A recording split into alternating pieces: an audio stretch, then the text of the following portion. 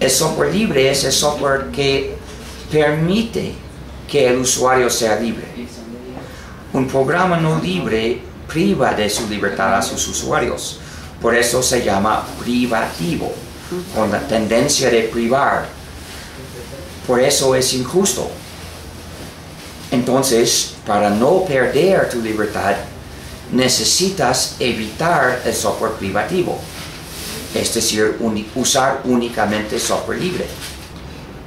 Para los ciudadanos es para ser libres, para no ser sometidos a los desarrolladores del privativo y para no ser víctimas de las funcionalidades malévolas de vigilancia, de restricción y las puertas traseras que los desarrolladores del privativo suelen introducir, porque están conscientes de su poder sobre los usuarios y se aprovechan de este poder.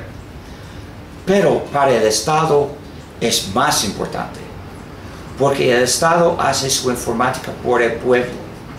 Entonces tiene la responsabilidad ante el pueblo de mantener completamente su control de su informática.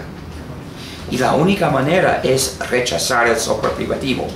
Si una agencia pública, si cualquier entidad del Estado usa un programa privativo, pierde el control de esa informática a las manos del desarrollador o del dueño.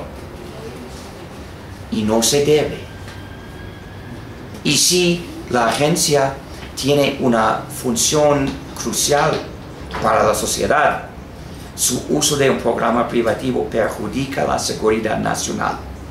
Si hay una puerta trasera en ese programa, se podría usar como arma para atacar el país.